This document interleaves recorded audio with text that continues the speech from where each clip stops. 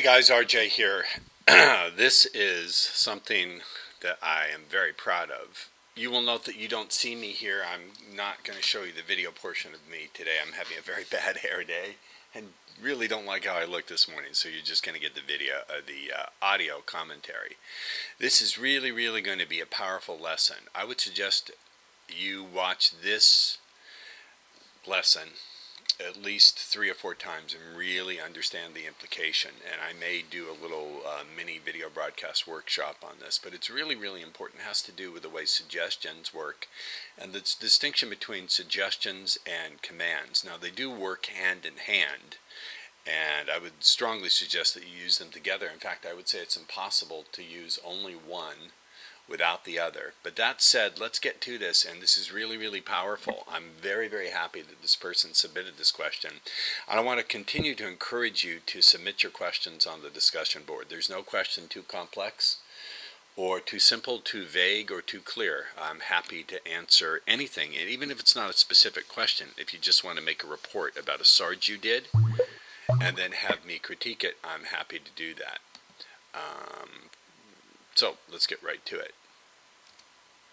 His question is Can I talk about something completely innocent? Uh, can he talk about something completely innocent, like going to the grocery store and embed lots of commands uh, in the right sequence, of course? Fascination, connection, attraction, lust. Is that enough to get the girl going? Let me just say a few things before I go further, delve deeper into this question, and, and uh, unpack my answer. Um, he's talking about doing states in the right sequence. And I used to teach back prior to 1997 that you should always first create a state of fascination and then go for things like connection and then go for body feelings. I, of course, no longer teach that and haven't taught that.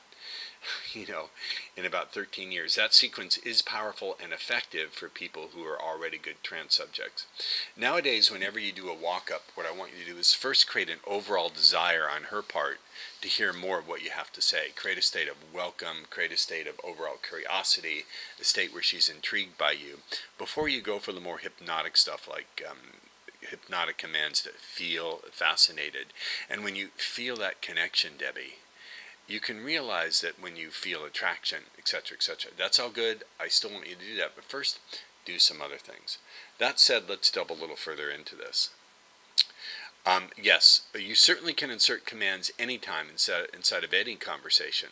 So, inside of any conversation, whether it's about books or her favorite movie, you can always insert commands like feel fascinated, experience a connection. Um, Another way to do it is to use suggestions that are vague. Now let me draw a distinction between commands and suggestions. As you'll see in this illustration, I put commands in blue and suggestions in red. Commands involve a verb like feel attracted or experience horniness or think about sex or get horny.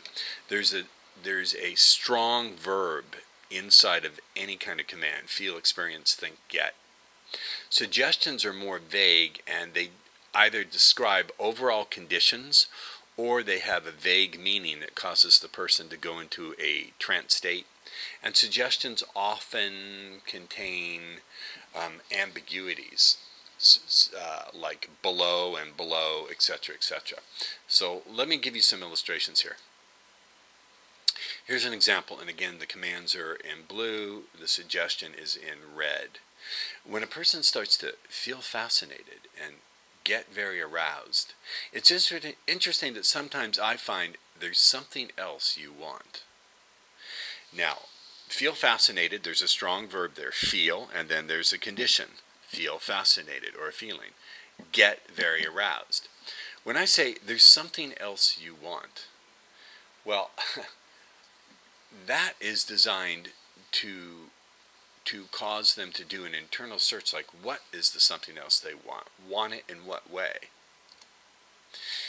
Note something the commands are specifically directing the listener's consciousness. They're telling him to feel fascinated, get horny. They're setting a specific direction for the listener's consciousness. The suggestion is far more vague. What is the something else that they want? And that vagueness, when you say there's something else you want, Notice also there's an IU shift. I say when I feel fascinated and feel a connection, that's when I realize there's something else you want. So there's also an IU shift there. But anyway, with this, uh, notice when I say there's something else you want, I'm not saying whether it's something sexual, something else in the store, something else. I'm not saying what that something else is. Nor I, nor am I saying when they want it or how they want it or how or when they'll discover what that is. Um, now, what happens when you're vague like this? It causes a momentary pause in ordinary consciousness. And the listener will actually do a search on the unconscious level to find the meaning that works for them. So you're actually accomplishing a couple of things here. You're causing them to pause in their consciousness and create something of a trance state. And then that trance state will deepen as they attempt to find the meaning of the words. This also makes them a lot more susceptible and responsive to any further commands that you do give them. Um, one thing I want you to notice is when you play with suggestions and you're vague, you will will very often notice a momentary trance response right in the listener's face. As soon as you're vague, you will notice them, it's almost like a small little startle response where they almost look like you've stepped on their toe or they've just observed something that they don't understand. It's often quite visible. The more visible it is, the more you know you've got a really good responder. Okay, so here's my example of a great use of commands and suggestions for the supermarket if you're when you're in the supermarket, or even if you're just talking about going shopping. Even if you're not in the supermarket, you could say, you know, I was at the Vons or the Kroger's or whatever the supermarket chain is, the Tesco. I was at the supermarket the other day doing some shopping, and then you could just say this. Um, and you could also use this anywhere. You could use this in a clothing store, a shoe store. Notice that the commands are in blue, the suggestions are in red. So I say, you know, when I go to the store and you're looking for something, that's on the list, sometimes I find there's something else you want, but you didn't put it on. So you just reach for it when you see it, like an impulse buy. That's why they have the candy and the gum and stuff right when you are checking out, instead of embedded deep inside the store, like on your back shelf. So let's go through this. Here are the suggestions. Let me talk about the suggestions. They're vague. What is the something else she's looking for? Uh, looking for how and what way? What is the something else she wants? Look at some double meanings. When I say checking out, does that mean she's at the register buying her purchases, or does it mean she's checking out of ordinary consciousness and going into hypnotic state? You've all heard that expression. Seen, you ever been talking to a friend of yours and suddenly their mind wanders and they're not listening, and you say, "Hey, you just checked out for a minute. Where did you go?" So notice that. And note the sexual suggestions invol involving the phonetic ambiguities. When I say embedded, deep inside, am I saying in bed, like in bed with me, or embedded? meaning stuck stuck deep, as well as deep inside and on your back. You know, on your back shelf. Am I saying on the back shelf in the back of the store, or she's on her back? You see what I'm drawing, what I'm driving at here. One more point. Um, the suggestions are vague.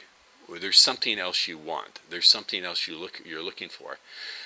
The reason they're going to be eventually towards the end of the chain of suggestions be interpreted in a sexual way is because of the phonetic ambiguities, which are sexual. So when I say on your back, embedded, embedded deep inside, that is what's going to cause them to take those earlier suggestions, there's something else you want, and interpret it in a sexual way. This is the subject for a lot of discussion. I would like to see discussion on this on the uh, members board. Okay? Um, thanks a lot, and I'm looking forward to your feedback.